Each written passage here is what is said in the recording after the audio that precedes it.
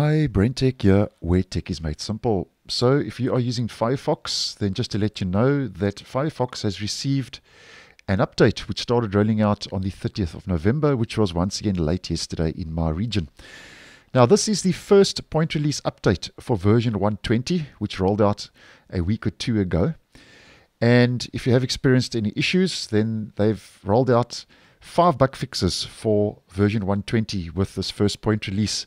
So if you have experienced any problems, time to double check your browser's up to date by heading, as always, to the main menu, clicking on Help, About Firefox, and latest version in bold after the update has been applied 120.0.1.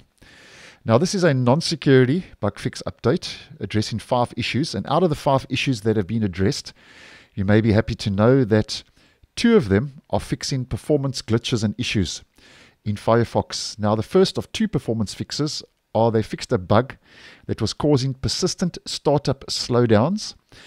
And then the second performance fix is they fixed an issue that was causing 100% CPU usage on sites such as Google Maps. So, two performance issues being addressed, which I always think is a good thing.